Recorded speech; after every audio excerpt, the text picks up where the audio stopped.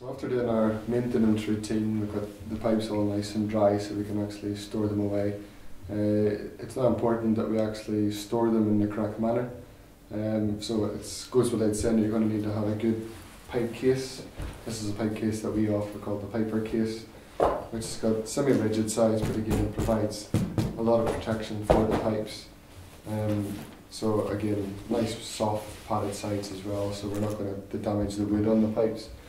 So again, it's just a matter of uh, putting the pipes in, making sure they're securely in position. So for this, we just need to dismantle the bass drone so they actually fit in the case.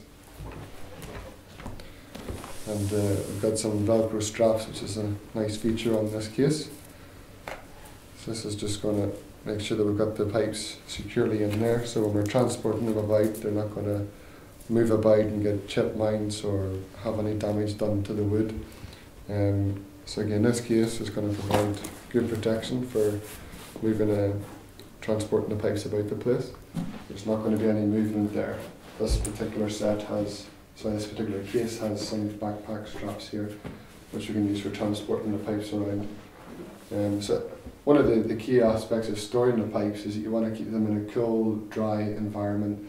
So you don't want you know to keep them in a room that you know there's a lot of sunlight coming in, is extremely hot, or a room that's known to be cold, like you know the, if you're living somewhere like you know, Canada where it can be extremely cold. You don't want to leave your pipes in the bit of a car where it can go to minus 20, for example, because the pipes made from African blackwood, a natural material, is going to expand and contract with hot and cold climates.